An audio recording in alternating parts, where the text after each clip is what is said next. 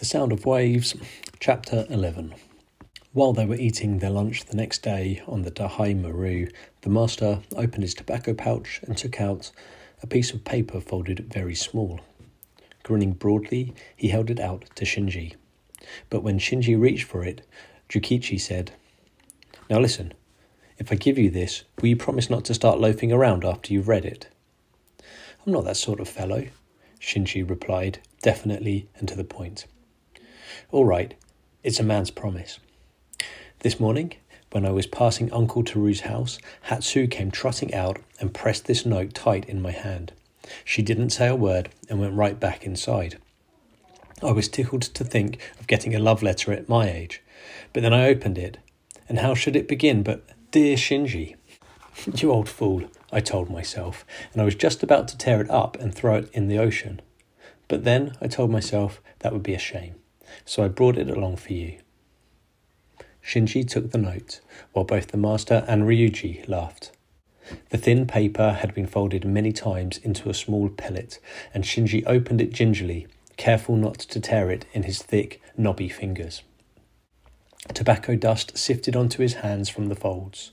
She had started writing on the notepaper with ink, but after a few lines her fountain pen had apparently run dry and she had continued with a faint pencil. Written in a childish hand, the note said, Last night at the bath, father heard some very bad gossip about us and became terribly angry and commanded that I must never see Shinji san again. No matter how much I explained, it was no use, not with father's being the kind of man he is.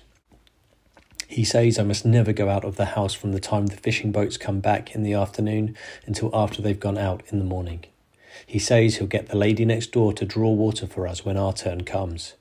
So there's nothing I can do.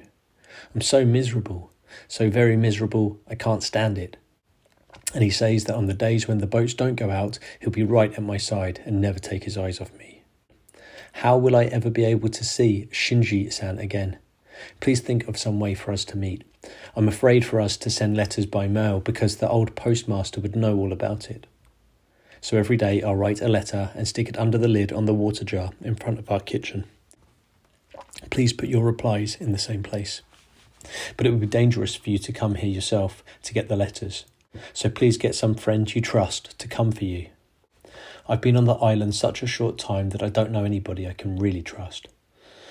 Oh, Shinji san, let us go on truly, with strong hearts. Every day I will be praying before the memorial tablets of my mother and brother that no accident will befall Shinji san. I'm sure that they in heaven will understand how I feel. As Shinji read the note, the expression on his face alternated, like sunshine and shadow, between the sorrow of being separated from Hatsue and the joy of having this proof of her affection for him. Just as Shinji finished reading the note, Jukichi snatched it out of his hands, as though this were only the rightful due of a bearer of love messages, and read it through. Not only did he read it aloud for Ryuji's benefit, but he also read it in his own unique, ballad chanting style. Shinji knew that Jukichi always read the newspaper aloud to himself in the same chanting tone, and that he was using it now without the slightest malice but still it hurt to have such a travesty made of those earnest words written by the girl he loved. As a matter of fact, Jukichi was sincerely moved by the letter, and during the reading, he heaved many a big sigh and threw in many an interjection.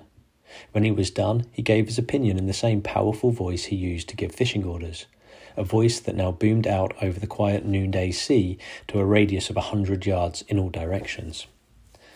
Women really are wise ones, aren't they? Here in the boat, there were none to hear except these two whom he trusted. So at Jukichi's urging, Shinji gradually confided in them. His way of telling the story was awkward. Events were often told in the wrong order, and he would leave out important points. It took him quite a time just to give a brief outline. Finally, he reached the heart of the matter and told them how, on that day of the storm, even though they were naked in each other's arms, he had been unable to win the prize after all. At this point, Jukichi, who almost never smiled, couldn't stop laughing. If it had been me, oh, if it had been me, really, what a mess you made of things. But then I guess that's what comes of you being such a virgin. And besides, the girl's so almighty straight laced that she was too big a handful for you. But still, it's a ridiculous story. Oh well. It'll be all right after she's your wife. Then you'll make up for it by giving her the rod ten times a day. Ryuji, a year younger than Shinji, was listening to this talk as though he only half understood it. As for Shinji, he wasn't sensitive and easily wounded the way a city bred boy is during the time of his first love. And to Shinji, the old man's raillery was actually soothing and comforting rather than upsetting. The gentle waves that rocked their boat also calmed his heart, and now that he had told the whole story, he was at peace. This place of toil had become for him a place of matchless rest. Ryuji, who passed Terukichi's house on his way to the beach, volunteered to pick up Hatsue's letter from under the lid of the water jar each morning. So from tomorrow, you'll be the new postmaster, said Jukichi, making one of his rare jokes.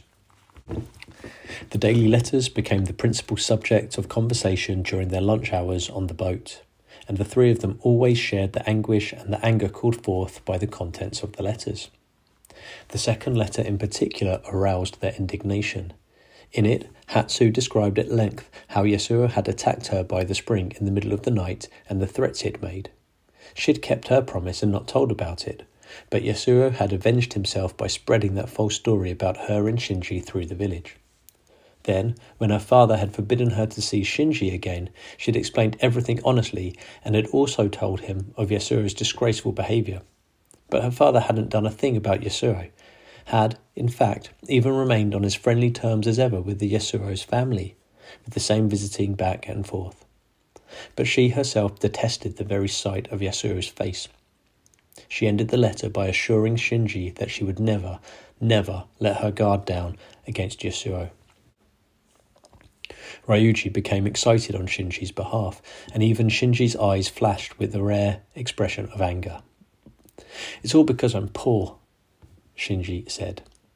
He was usually not one to let such querulous words pass his lips, and he felt tears of shame springing in his eyes, not because he was poor, but because he had been weak enough to give voice to such a complaint.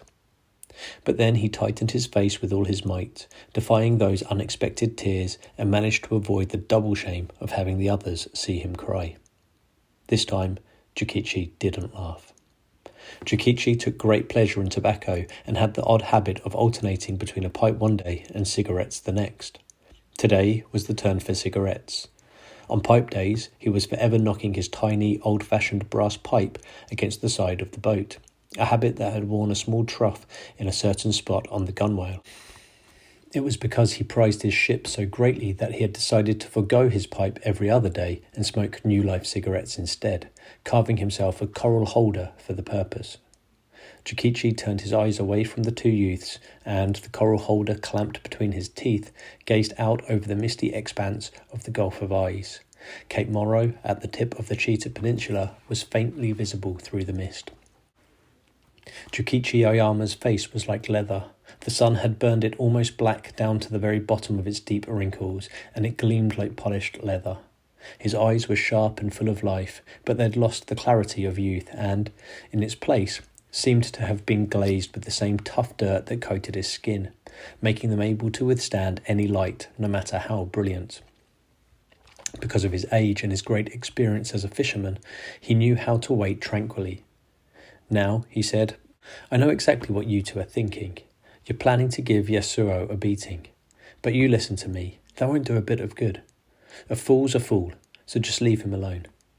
Guess it's hard for Shinji, but patience is the main thing.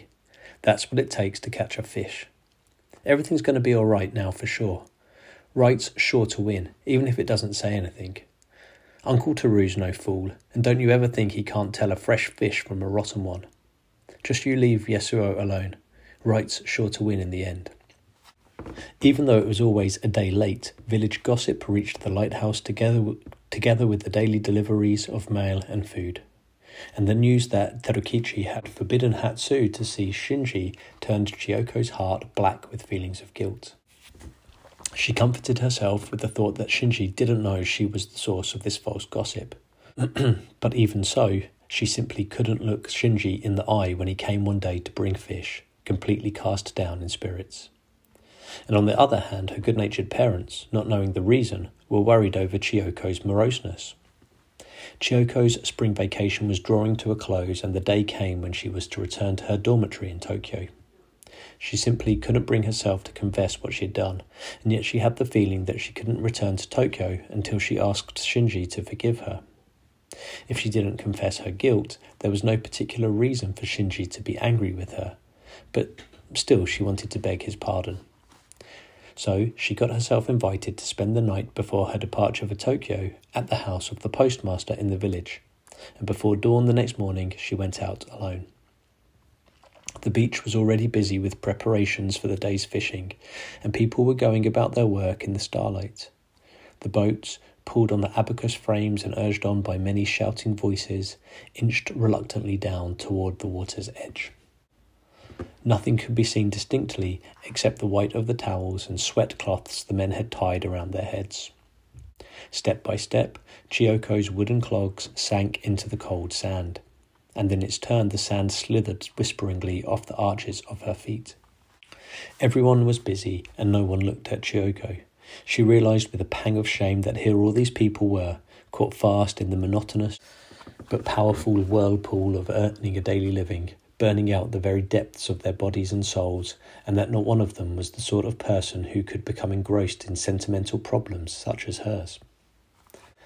Nevertheless, Chiyoko peered eagerly through the dawn's darkness, looking for Shinji. All the men were dressed alike, and it was difficult to distinguish their faces in the morning twilight. One boat finally hit the waves and floated on the water as though it had been freed from cramped confinement. Instinctively, Chiyoko moved toward it and then called out to a young man with a white towel tied around his head. The youth had been about to jump aboard, but now he stopped and turned back. His smiling face revealed the whiteness of two clean rows of teeth, and Chiyoko knew for certain it was Shinji. I'm leaving today. I wanted to say goodbye. Oh, you're leaving? Shinji fell silent, and then, in an unnatural tone of voice, as though he were trying to decide what would be best to say, he added, Well, goodbye. Shinji was in a hurry. Realizing this, Chiyoko felt even more hurried than he. No words would come, much less a confession. She closed her eyes, praying that Shinji would stay before her even one second more. In this moment, she realized that her wanting to beg his pardon was actually nothing but a mask to conceal her long felt desire to have him be kind to her. What was it she was wanting to be forgiven for? This girl who was so convinced of her ugliness. On the spur of the moment, without thought, she let slip the question she had always kept pushed down in the very bottom of her heart a question she probably could never have asked anyone but this one boy. Shinji, am I so ugly? What? the boy asked, a puzzled look on his face. My face, is it so ugly? Chiyoko hoped the dawn's darkness would protect her face, making her appear even the slightest bit beautiful. But the sea to the east, didn't it seem to be already turning light? Shinji's answer was immediate. Being in a hurry, he escaped a situation in which too slow an answer would have cut into the girl's heart. What makes you say that? You're pretty, he said, one hand on the stern and one foot already beginning to leap that would carry him into the boat. You're pretty. As everyone well knew, Shinji was incapable of flattery. Now, pressed for time, he'd simply given a felicitous answer to her urgent question. The boat began to move, he waved back to her cheerfully from the boat as it pulled away, and it was a happy girl who was left standing at the water's edge. Later that morning, her parents came down from the lighthouse to see her off, and even while she talked with them, Chiyoko's face was full of life. They were surprised to see how happy their daughter was to be returning to Tokyo. The kamikaze Maru pulled away from the jetty, and Chiyoko was finally alone on the warm deck. In the solitude, her feeling of happiness, on which she had been pondering constantly all morning, became complete. He said I'm pretty, he said I'm pretty. Chiyoko repeated yet again the refrain she had said over and over to herself, how many hundreds of times since that moment. That's really what he said, and that's enough for me. I mustn't expect more than that. That's really what he said to me. I must be satisfied with that and not expect him to love me too. He he has someone else to love. What a wicked thing it was I did to him. What terrible unhappiness my jealousy has caused him. And yet he repaid my wickedness by saying I'm pretty. I must make it up to him. Somehow I must do whatever I can to return his kindness. Chiyoko's reveries were broken by a strange sound of singing that drifted across the waves. When she looked, she saw a fleet of boats covered with red banners sailing from the direction of the Irago Channel. What are those? Chiyoko asked the captain's young assistant, who was coiling a hawser on the deck. They're pilgrim boats bound for the Ise shrines. The fishermen from around Enshu and Yaizu on Suruga Bay bring their families with them on the bonito boats to Toba. All those red flags have the boats' names on them. They have a great time drinking and singing and gambling all the way. The red banners became more and more distinct, and as the fast ocean going fishing boats drew near the Kamikaze Maru, the singing voices borne on the wind were almost raucous.